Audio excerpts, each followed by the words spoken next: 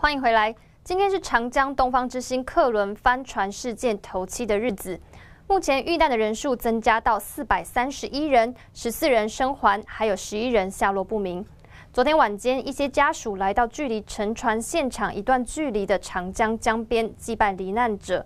不过，大陆媒体却出现多篇鼓吹国家处理英明、被救者和国民应该感激涕零等新闻报道。却没有就责跟检讨原因，引发网友在微博上痛骂是悲剧中的闹剧，尸堆上的舞蹈。